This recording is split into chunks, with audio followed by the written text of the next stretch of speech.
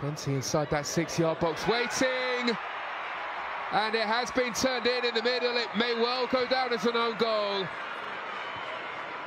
Well, it looked as though the final touch came off of Abby Lafayette. Actually, it looked as though it came off of her arm as uh, she tried to do something as the ball was sent back into the danger zone. It's not the best of starts here for Watford.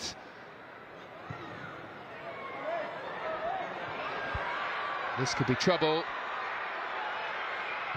Goodwin looking for her chance to shine, but she slams the effort into the goalkeeper, Sophie Harris, who manages to get behind that one to prevent her 12th goal in the Women's Championship this season.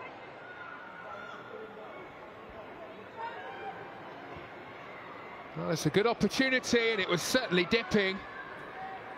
You see Leon with the effort that just, and only just, went over the top of the bar. Fran Stenson seemed to be pretty casual about the whole thing.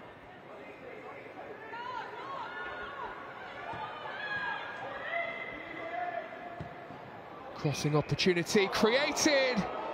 And Watford will be wondering how they haven't scored.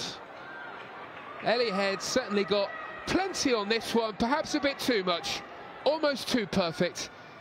Best chance for Watford so far.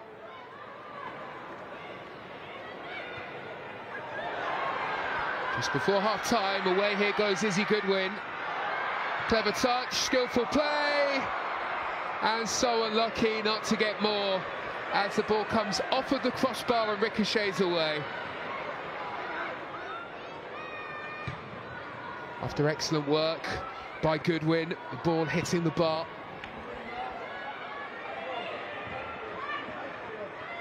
Goodwin's crossfield pass, now here is Searsworth. Round the corner it goes, that's a lovely touch. Sheffield United deliver! And what a chance! Well, perhaps we should have been looking at the second goal of the night here.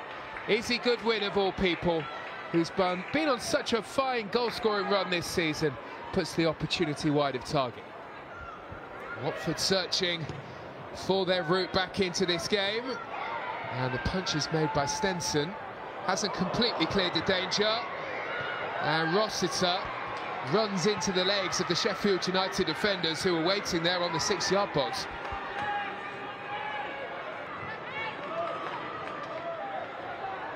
A Bit more urgency now from Watford, and there was always likely to be as we headed into the final 10 minutes.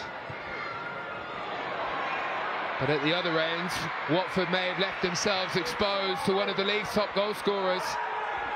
And was there a late challenge in there from Harris on Goodwin?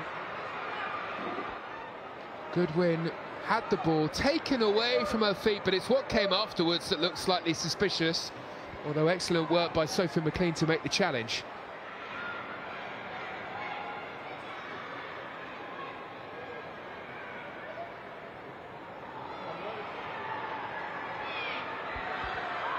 This might be the crossing opportunity. They wait in the middle. Harris makes the save, and then there's a block. A well-timed block inside the six-yard box. And that stops the ball heading goalward. Well, the save was brave, but it's the block by Mayveld who was there that saved the second goal going in for the Watford defence.